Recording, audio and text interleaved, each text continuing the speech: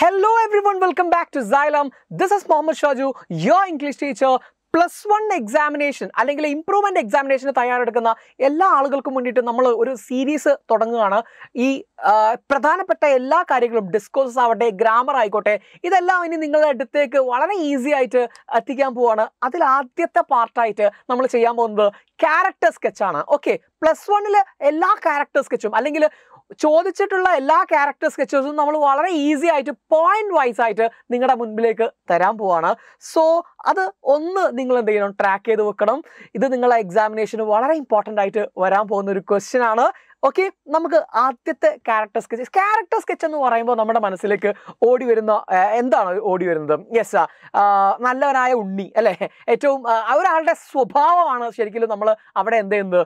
Reflect ചെയ്യാൻ പോകുന്നത്. എന്തെല്ലാം കാര്യങ്ങളാണ് നമ്മൾ ഈ ക്യാരക്ടർ സ്കെച്ചിൽ ഉൾപ്പെടുത്തേണ്ടത്? അല്ലെങ്കിൽ എന്തായിരിക്കും അതിന്റെ ഒരു ഫോമാറ്റ് അങ്ങനെ ഫോമാറ്റ് വല്ലതും ഉണ്ടോ? ഉണ്ട്. അതെന്താണ് നമ്മളൊന്ന് ആദ്യം മനസ്സിലാക്കി വെക്കാം. ഹെഡിങ് അത്യാവശ്യമാണ്. ഒരു ക്യാരക്ടർ സ്കെച്ച് എഴുതുമ്പോൾ നിങ്ങൾ കൃത്യമായ ഒരു ഹെഡിങ് അയാളുടെ പേരെന്നെ കൊടുത്തോ? പ്രശ്നമല്ല. കുറച്ചും കൂടെ ആർട്ടിസ്റ്റിക്കലായിട്ട് എഴുതാം. ആർട്ടിസ്റ്റിക്കായിട്ട് എഴുതാൻ പറ്റുന്ന ആളുകളാണെങ്കിൽ അത് കുറച്ച് ഭംഗിയായിട്ട് നിങ്ങൾക്ക് എഴുതാം. അത് നിങ്ങളുടെ പേരെന്നെ ആവണമെന്നൊന്നുമില്ല. രണ്ടാമത് നെയിം ഓഫ് ദ ക്യാരക്ടർ എന്ന് വെച്ചാൽ നമ്മൾ എഴുതി തുടങ്ങുമ്പോൾ ആ ക്യാരക്ടറിന്റെ പേര് ചാപ്റ്റർ ഓദറിന്റെ പേര് ഒക്കെ എന്ത് ചെയ്യുക ഒന്ന് മെൻഷൻ ചെയ്യുക രണ്ട് അടുത്തത്. മൂന്നാമത്തത് role significance of the character ഈ ക്യാരക്ടറിന്റെ എന്താ പറയുക റോൾ ഈ കഥയിലുള്ള റോൾ എന്താണ്? അതുപോലെ തന്നെ significance of the character importance of the character ക്യാരക്ടറിന് എത്രത്തോളം പ്രാധാന്യമുണ്ട് ഈ സ്റ്റോറിയിൽ എന്ന് നമ്മൾ സെന്റൻസുകളാക്കിയിട്ട് എഴുതുക ദെൻ ഫിസിക്കൽ അപ്പിയറൻസ് മസ്റ്റാണ് ഫിസിക്കൽ അപ്പിയറൻസ് എല്ലാ കഥയിലും എല്ലാവരുടെയും ഒന്നും പറയുന്നുണ്ടാവില്ല. പറയുന്നുണ്ടെങ്കിൽ അത് നിങ്ങൾ വൃത്തിയായിട്ട് എന്ത് ചെയ്യണം? അവിടെ എഴുതി വെക്കണം. Next character relationship with other characters മറ്റ് കഥാപാത്രങ്ങളും ഈ കഥാപാത്രമായിട്ടുള്ള റിലേഷൻഷിപ്പിനെ കുറിച്ച് നമ്മൾ എഴുതണം.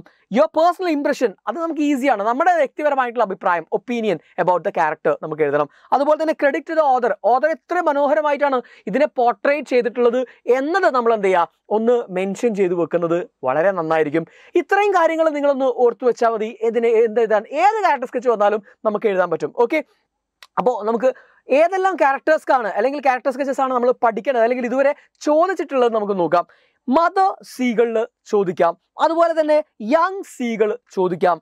ദ വില്ലേജ് ബോയ് ചോദിക്കാറുണ്ട്. ദെൻ മാഗി വില്ലേജ് ബോയ് എന്ന് പറഞ്ഞാൽ നമ്മുടെ കലാം ഐ വിൽ ഫ്ലൈ എന്ന് പറഞ്ഞ ചാപ്റ്ററിലെ വില്ലേജ് ബോയ് ആണ് കേട്ടോ. ദെൻ മാഗി നമുക്കറിയാലോ പ്രൈസ് ഓഫ് ഫ്ലവേഴ്സ് എന്ന് പറയുന്ന ചാപ്റ്ററിലെ ക്യാരക്ടറാണ് സെൻട്രൽ ക്യാരക്ടറാണ് മാഗ്നറ്റ് ക്ലിഫോർഡ് എന്ന് പറയുന്ന മാഗി എന്ന് പറയുന്ന ക്യാരക്ടർ ദെൻ മിസ്റ്റർ ഗുപ്ത അല്ലെ? അതേ കഥ കഥയിലുള്ള മറ്റൊരാളാണ് മിസ്റ്റർ ഗുപ്ത ഹസൻ എന്ന് പറഞ്ഞ സെറാങ് ഓഫ് രാണാഗഞ്ചിയിലെ ക്യാരക്ടർ അതുപോലെ തന്നെ എ ജെ ക്രോണിൻ സെയിം കഥയിലെ ഡോക്ടറാണ് എ ജെ ക്രോണിൻ ഇത്രയും റെഗുലർ ആയിട്ട് ചോദിച്ചു വരാറുള്ളത്. ഇതിനകത്ത് ഏറ്റവും ഇമ്പോർട്ടന്റ് ആരാന്ന് ചോദിച്ചു കഴിഞ്ഞാൽ രണ്ട് ക്യാരക്ടേഴ്സ് സ്ഥിരമായി ചോദിക്കുന്ന രണ്ട് ക്യാരക്ടേഴ്സ് അത് ഒന്ന് മാഗ്രറ്റ് ക്ലിഫോർഡ് മാഗിയാണ്. രണ്ടാമത്തത് ഹസൻ ആണ് പിന്നെ ഒന്നും കൂടെ ഇമ്പോർട്ടന്റ് ഏതാണെന്ന് ചോദിച്ചാൽ ഗുപ്ത കുറച്ചുകൂടെ ഇമ്പോർട്ടന്റ് ആണ്. ഗുപ്തയും ഇടക്കിടക്ക് തയ്യാറുണ്ട് ചോദിക്കാറുണ്ട്. നമ്മളൊരു റിസ്ക് എടുക്കാൻ തയ്യാറാവണ്ട. ചിലപ്പോൾ പരീക്ഷ ഈസി ആക്കാൻ വേണ്ടിയിട്ട് അവർ എളുപ്പമുള്ള വേറെ ഏതെങ്കിലും ചോദിച്ചാലോ? അല്ലേ? അപ്പോൾ നമ്മൾ എല്ലാവരെയും ഒന്ന് ഇത്രയും ആൾക്കാരേ ഉള്ളൂ. നമ്മളൊന്ന് നോട്ട് ചെയ്ത് വെക്കണം. ഓക്കെ അപ്പോൾ ജസ്റ്റ് ബൈ ഹാർട്ട് പഠിക്കൊന്നും വേണ്ട. ഞാൻ പറയുന്നത് നിങ്ങൾക്ക് പെട്ടെന്ന് മനസ്സിലാവും. കഥയൊക്കെ നിങ്ങൾക്ക് അറിയാവുന്നതാണ്. ക്യാരക്ടേഴ്സിൽ ഞാൻ കളർ മാറ്റി കൊടുത്തിട്ടുണ്ട്. ചില അവരുടെ ക്ലൂ ആയിട്ടുള്ള കാര്യങ്ങൾ റെഡ് ഇങ്കിൽ എഴുതിയിട്ടുണ്ട്. സോ അത് നിങ്ങളൊന്ന് ഹൈലൈറ്റ് ചെയ്ത് മനസ്സിൽ വെച്ചാൽ മതി. നിങ്ങളുടെ സെന്റൻസ് ഉപയോഗിച്ചാൽ മതി. നിങ്ങളിത് ഓർത്ത് വെക്കുക പോയിന്റ് ആയിട്ടാകുമ്പോൾ പെട്ടെന്ന് നമ്മൾ ക്യാച്ച് ചെയ്യാൻ പറ്റും. ഓക്കെ തുടങ്ങല്ലേ നമുക്ക്? മദർ സീകളിലാണ് ഇനി ഫസ്റ്റ് ഫസ്റ്റ് പാർട്ടിൽ നമ്മൾ ഡിസ്കസ് ചെയ്യാൻ പോകുന്നത് നാല് ക്യാരക്ടേഴ്സിനെയാണ് first one is mother seagull ഏതാണ് മദർ സീ എന്താണ് മദർ സീകളുടെ പ്രത്യേകത? The mother seagull is a character in the story his first flight by Liam O Flaherty പേര് ഓർത്ത് വെക്കണം. ഹിസ് ഫസ്റ്റ് ഫ്ലൈറ്റ് ലിയാം ഹോ ഫ്ലാഹർട്ടിയുടെ കഥയിലെ ഒരു കഥാപാത്രമാണ് എന്നാൾ റെഡി അല്ലേ? അടുത്തത്. She appears to be a tough but motivating character motivating character തൊട്ട് നമുക്ക് തോന്നും ഒരു ടഫ് ക്യാരക്ടർ ആണെന്ന്. പക്ഷേ she's a motivating character then ആര്? അമ്മയുണ്ടോ? Mother സീകളാണ് in reality she is loving and caring loving and caring she knows her children better than any other person മറ്റാരെക്കാളും തന്റെ കുഞ്ഞുങ്ങളെ അവർക്കറിയാം അല്ലെ? ഷീ നോസ് ഹർ ചിൽഡ്രൻ ആണ് അതിലെ പ്രധാനപ്പെട്ട point she realises that her little ones needs a lot of motivation to achieve his or her goals ഒരുപാട് motivation അത്യാവശ്യമാണ് കുട്ടികൾക്ക് അവരുടെ പൊട്ടൻഷ്യലിലേക്ക് എത്താൻ വേണ്ടിയിട്ടെന്ന് കൃത്യമായിട്ട് അറിയുന്ന ഒരു അമ്മയാണ് ഈ mother seagull she creates a challenging situation for the young seagull to make his first flight young സീകളിന് അതിന്റെ ഫസ്റ്റ് ഫ്ലൈറ്റ് നടത്താൻ വേണ്ടിയിട്ട് അമ്മ ഒരു ചലഞ്ചിങ് ആയിട്ടുള്ള സിറ്റുവേഷൻ ഒരുക്കുന്നുണ്ട്. റെഡി അല്ലേ? അടുത്തത് she appears with a piece of fish but halts in the air അതെന്തായിരുന്നു സംഭവം? ഒരു ഫിഷുമായിട്ട് വന്നിട്ട് ആ എയറിൽ അങ്ങനെ ഹാൾട്ട് ചെയ്ത് നിൽക്കുക സ്റ്റോപ്പ് ചെയ്ത് നിൽക്കുക ചെയ്യുന്നത്. മാഡൻഡ് ബൈ ഹങ്കർ ഇമ്പോർട്ടന്റ് ആണ്. മാഡൻഡ് ബൈ ഹങ്കർ വിശപ്പ് സഹിക്ക വയ്യാതെ the young seagull dives for the fish ഫിഷിന് വേണ്ടിയിട്ട് ഒറ്റ ചാട്ടമാണ്. അല്ലേ? The mother helps the young seagull to develop self confidence and become self reliant very very important അമ്മ സഹായിക്കുന്നു കുട്ടിയെ എന്തിനു വേണ്ടിയിട്ട് മക്കളെ? സെൽഫ് കോൺഫിഡന്റ് ആവാനും അതുപോലെ തന്നെ സെൽഫ് റിലയന്റ് ആവാനും വേണ്ടിയിട്ട് അമ്മ സഹായിക്കുന്നു. Parents are the first teachers of their children parents ആണ് അവരുടെ കുട്ടികളുടെ ആദ്യത്തെ അധ്യാപകർ എന്ന് പറയുന്നത്. നമ്മുടെ കയ്യിൽ എടുത്തിട്ട് എഴുതുകയാണ്. Children learn the first lessons sorry learn the lessons of life mostly from home കുട്ടികൾ ആദ്യത്തെ പാഠം പഠിക്കുന്നത് എപ്പോഴും വീട്ടിൽ നിന്ന് തന്നെയായിരിക്കും. നമ്മളൊക്കെ പഠിച്ചത് അവിടെ നിന്ന് തന്നെയാണ്. The mother seagull is in the story is a role model for all the mothers എല്ലാ അമ്മമാർക്കും ഒരു റോൾ മോഡലാണ് നമ്മുടെ മദർ സീകൾ എന്ന് പറയുന്ന ക്യാരക്ടർ എന്ന് പറഞ്ഞ് ഞാൻ അത് അവസാനിപ്പിക്കുകയാണ്.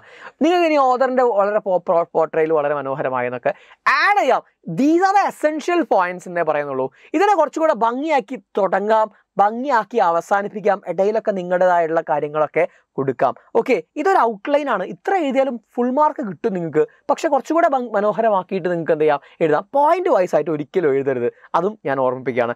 ഈ വീഡിയോ നിങ്ങൾ സേവ് ചെയ്ത് വെച്ചോ. പരീക്ഷയുടെ മുമ്പേ നിർബന്ധമായിട്ട് നിങ്ങൾ എന്ത് ചെയ്യണം? ഒരൊറ്റ റൗണ്ട് കാണുക വേണം. റെഡിയല്ലേ അടുത്ത ക്യാരക്ടർ ആരാണ്? ദ യങ് സീകളാണ് യങ് സീകൾ എന്ന് പറയുന്നത് ആരായിരുന്നു? നമ്മുടെ അമ്മയുടെ മകൻ അല്ലേ? നമ്മുടെ hero the young seagull is a character in the story his first light by Liam O Flaherty okay simple പേര് പറയുന്നു. He was left alone on the ledge he was left alone on the ledge ലെഡ്ജിൽ ഒറ്റയ്ക്കായിരുന്നു. He was afraid to fly he was very afraid to fly he lacked confidence അവന്റെ മറ്റൊരു പ്രശ്നം എന്തായിരുന്നു? He lacked confidence he thought his wings would never support him he thought his wings would never support him അവനെ ഒരിക്കലും അവന്റെ ചിറകുകൾ support ചെയ്യുമെന്ന് വിചാരിച്ചില്ല അവൻ.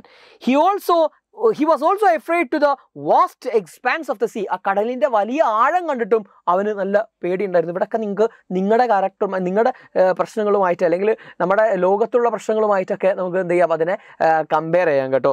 Next his siblings flew to the other side his siblings എന്ന് പറഞ്ഞാൽ അവന്റെ ബ്രദേഴ്സ് ആൻഡ് സിസ്റ്റർ പറന്നു അപ്പുറത്തെ അറ്റത്തേക്ക്. His parents try to motivate him his mother approached with a piece of fish and halted in the air അമ്മ ഒരു ഫിഷുമായിട്ട് വന്നു അവിടെ നിന്നു.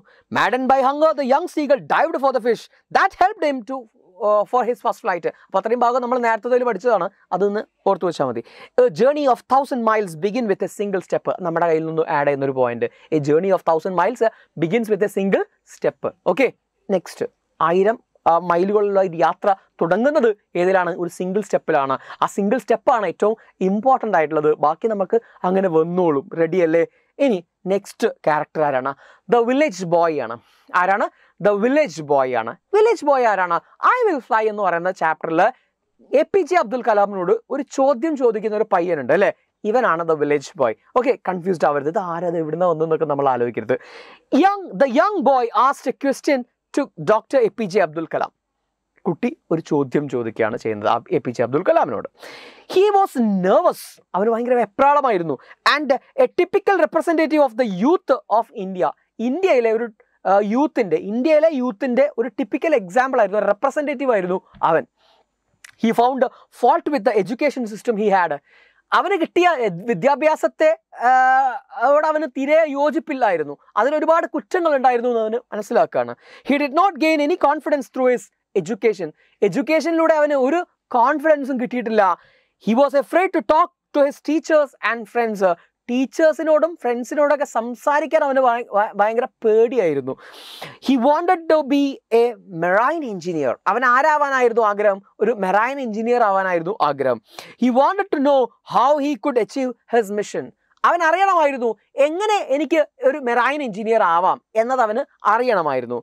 He became a centre of attraction among the audience അങ്ങനെ അവന്റെ ആ ചോദ്യം ശരിക്കും പറഞ്ഞാൽ ആളുകളുടെ എല്ലാവരുടെയും ഒരു ആഗ്രഹമായി അതിന്റെ ഉത്തരം കേൾക്കാൻ. അങ്ങനെയാണ് അവൻ ഒരു സെന്റർ ഓഫ് അട്രാക്ഷൻ ആവുന്നത്.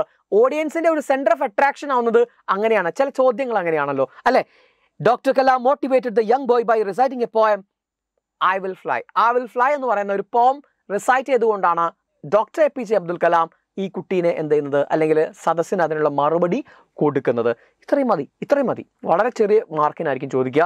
ഈ കുട്ടിയുടെ ഒക്കെ ചോദിക്കുകയാണെങ്കിൽ ഏറ്റവും കൂടുതൽ മാർക്കിന് ചോദിക്കാൻ ഇടയുള്ള ഒരു ഒരു ക്യാരക്ടർ സ്കെച്ച് എന്ന് പറയുന്നത് അടുത്ത ആളുടെയാണ്. ഓക്കെ അത് മറ്റാരുമല്ല. ആരാണ്? ഏറ്റവും കൂടുതൽ സാധ്യതയുള്ളത്. ഒരുപാട് തവണ ചോദിച്ചതും ഒക്കെ മാഗ്നറ്റിൽ ഫോർ എന്ന് പറയുന്ന മാഗിയുടെയാണ് അപ്പോൾ അതത്ര ഈസിയിൽ എഴുതിയാൽ പോരാ. ക്യാരക്ടർ എഴുതുമ്പോൾ ശ്രദ്ധിക്കേണ്ട കുറച്ച് കാര്യങ്ങൾ. ഹസൻ ആണെങ്കിലും മാഗി ആണെങ്കിലും എഴുതുമ്പോൾ ശ്രദ്ധിക്കേണ്ട കുറച്ച് കാര്യങ്ങൾ. ഒന്ന് ഹെഡിങ് എഴുതാൻ പറഞ്ഞല്ലോ.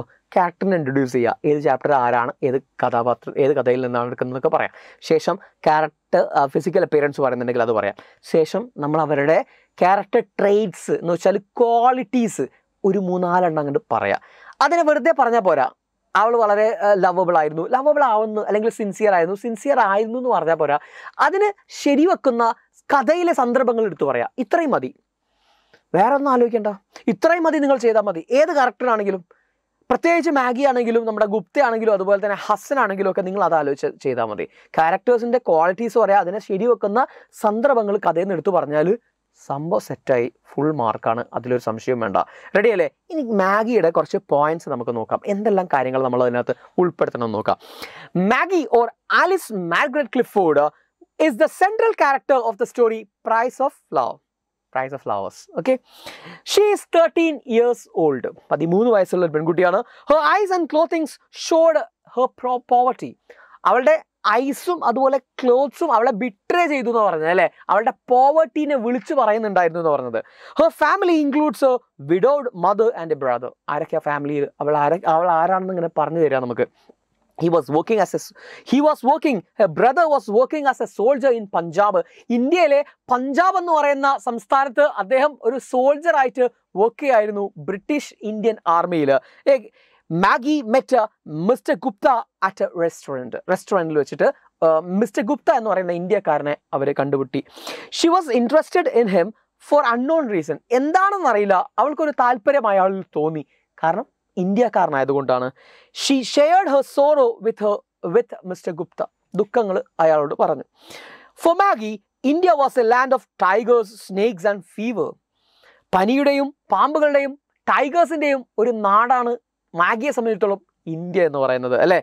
She believed that most Indians were vegetarians അവളുടെ മറ്റൊരു വിശ്വാസമായിരുന്നു most of the Indians were vegetarians എല്ലാവരും വെജിറ്റേറിയൻസ് ആണ് യോഗികളാണെന്നൊക്കെയാണ് അവൾ വിചാരിച്ചിരുന്നത്. Maggie work as a typist അവളൊരു ടൈപ്പിസ്റ്റ് ആയിരുന്നു. She was not satisfied with her job because it was mechanical അത് അവളുടെ ക്വാളിറ്റിയാണ് അവൾക്ക് ആ ജോലി ഇഷ്ടമല്ലായിരുന്നു. എന്താ കാരണം? അതൊരു മെക്കാനിക്കൽ ജോലി ആയതുകൊണ്ടാണ്. എന്താ മെക്കാനിക്കൽ ജോലി എന്ന് പറഞ്ഞാൽ ക്രിയേറ്റിവിറ്റി യൂസ് ചെയ്യാതെ വെറുതെ എങ്ങനെ ചെയ്തുകൊണ്ട് പോകുന്നതിനാണ് നമ്മൾ എന്ത് പറയുക മെക്കാനിക്കൽ മെക്കാനിക്കൽ ആയതുകൊണ്ട് അത് മെക്കാനിക്കൽ എന്ന് വേർഡ് കിട്ടിയില്ലെങ്കിൽ ഇറ്റ് വാസ് നോട്ട് ക്രിയേറ്റീവ് എന്ന് പറഞ്ഞാലും മതി. ക്രിയേറ്റീവ് അല്ലാത്തത് കൊണ്ട് അവൾക്ക് ഏറ്റവും ഇഷ്ടം ഏത് ജോലിയായിരുന്നു? ഒരു സെക്രട്ടറിയുടെ ഒക്കെ ജോലിയായിരുന്നു അവൾക്ക് ഇഷ്ടം എന്നാണ് പറയുന്നത്. Okay she played violin very well നന്നായിട്ട് വയലിൻ വായിക്കാൻ അറിയുന്ന കുട്ടിയായിരുന്നു അവൾ. She was extremely concerned about her mother who work hard by selling cakes to support her അവളെ സപ്പോർട്ട് ചെയ്യാൻ വേണ്ടിയിട്ട് വളരെ ഹാർഡ് വർക്ക് ചെയ്യുന്ന കേക്കുകളും മറ്റും വിറ്റ് ഹാർഡ് വർക്ക് ചെയ്യുന്ന അമ്മയെ വളരെയധികം ഇഷ്ടമായിരുന്നു അവൾക്ക്. അമ്മയെ അവൾക്ക് അമ്മയുടെ കാര്യത്തിൽ അവൾക്ക് എക്സ്ട്രീം കൺസേൺ ഉണ്ടായിരുന്നു. അത് വെറുതെ പറഞ്ഞു പോകല്ല അതിന് കൂടെ നിങ്ങൾക്ക് പറയാം അമ്മയ്ക്ക് അസുഖം വന്നപ്പോഴാണ് ഗുപ്തയെ തിരിഞ്ഞിട്ട് അവൾ പോകുന്നത് കത്തയക്കുന്നതൊക്കെ ചെയ്യുന്നത് അല്ലേ? ഇനി like her mother she was also haunted by the thoughts of a brother Frank like her mother she was also haunted അവൾ അമ്മയെ പോലെ തന്നെ അവളും ബ്രദറിനെ കുറിച്ചുള്ള ചിന്തകൾ ബ്രദറിനെ കുറിച്ച് വിവരങ്ങൾ കിട്ടാത്തതിലുള്ള ചിന്തകൾ അവളെയും ഹോണ്ട് ചെയ്തിട്ടുണ്ടായിരുന്നു വേട്ടയാടിയിട്ടുണ്ടായിരുന്നു. There had been no news of Frank for a long time Frank എന്ന് പറയുന്ന ബ്രദറിനെ കുറിച്ചിട്ട് ഒരു അറിവുമില്ല ഒരു ഒരു വാർത്തയുമില്ല. കുറെ നാളുകളായിട്ട്.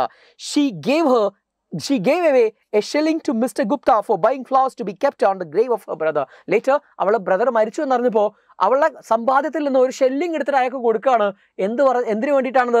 ആ അവളുടെ ബ്രദറിന്റെ ഗ്രേവിൽ എന്ത് വെക്കാൻ വേണ്ടിയിട്ട്? ഫ്ലവേഴ്സ് വെക്കാൻ വേണ്ടിയിട്ട് അല്ലേ? അപ്പോൾ അത് നമുക്ക് അവളുടെ ഒരു ഹ്യൂമാനിറ്റേറിയനെ നമുക്ക് കാണാൻ പറ്റും. ഫാമിലി മാനിനെ നമുക്ക് കാണാൻ പറ്റും. വളരെയധികം ഒരു എന്താ പറയുക അവളുടെ ബ്രദറിനോടുള്ള സിബ്ലിങ്ങിനോടുള്ള ആ ഒരു സ്നേഹബന്ധം നമുക്ക് കാണാൻ പറ്റും. ഹാർഡ് വർക്ക് ചെയ്തിട്ടാണ് അവൾക്ക് ആ ഷെല്ലിംഗ് കിട്ടിയത്. ആ ഷെല്ലിംഗ് അവൾ കൊടുക്കാൻ തയ്യാറായി. She is a simple of love innocence and dedication വളരെ ഇമ്പോർട്ടന്റ് ആണ്. She is a simple of love അവളൊരു സിമ്പിളാണ് എന്താണ് എന്തിന്റെയൊക്കെ എന്തിന്റെയൊക്കെ ചിഹ്നങ്ങളാണ് അവൾ സ്നേഹത്തിന്റെ അതുപോലെ ഇന്നസെൻസിന്റെ അതുപോലെ പതിമൂന്ന് വയസ്സായിട്ടുള്ളൂ അല്ലേ? ഇന്നസെൻസിന്റെ നിഷ്കളങ്കതയുടെ അതുപോലെ തന്നെ ഡെഡിക്കേഷന്റെ എന്നിങ്ങനെ പറഞ്ഞു തരുന്നത് മനസ്സിലേക്ക് അങ്ങോട്ട് കയറാനാട്ടോ പെട്ടെന്ന് അതിങ്ങനെ പരീക്ഷയ്ക്ക് നമുക്ക് മനസ്സിലേക്ക് വരണം. പോയിന്റുകളായിട്ട് Maggie is touching Maggie is a touching character in the story price of flowers അത് നമ്മുടെ കയ്യിൽ നിന്ന് എടുത്തൊരു ഒരു എന്താ സെന്റൻസ് ആണ്. മാഗി നമ്മളെ വല്ലാതെ പിടിച്ചിരുത്തുന്ന അല്ലെങ്കിൽ നമ്മളെ മനസ്സിലേക്ക് വല്ലാതെ തുളച്ചു കയറുന്ന ഒരു ക്യാരക്ടർ എന്നൊക്കെ നിങ്ങൾക്ക് എന്ത് ചെയ്യാം? തട്ടിവിടാം. അപ്പോൾ ഇത്രയും കാര്യങ്ങൾ നിങ്ങൾ മെയിനായിട്ട് ഓർത്ത് വെക്കുക. കൂടെ നിങ്ങളെ ചാപ്റ്ററിലെ കുറച്ച് കാര്യങ്ങൾ കൂടെ ആഡ് ചെയ്ത് കഴിഞ്ഞാൽ നിങ്ങളുടെ അഭിപ്രായങ്ങളും കൂടെ എഴുതി കഴിഞ്ഞാൽ അടിപൊളിയായി. ഒരിക്കൽ കൂടെ ഞാൻ പറയുന്നു പാരഗ്രാഫായിട്ടാണ് എഴുതേണ്ടത്. പോയിന്റ് ആക്കിയിട്ട് ഓർത്ത് വെച്ചാൽ മതി. പോയിന്റ് ആക്കിയിട്ട് എഴുതല്ല വേണ്ടത്. റെഡിയല്ലേ അപ്പോൾ ബാക്കി നെക്സ്റ്റ് പാർട്ടുമായിട്ട് നമുക്ക് ബാക്കി ക്യാരക്ടേഴ്സിന് മൂന്ന് ആൾക്കാരും കൂടി ഉണ്ട് അല്ലേ അവരുമായിട്ട് അടുത്ത ക്ലാസ്സിൽ കാണാം. Okay thank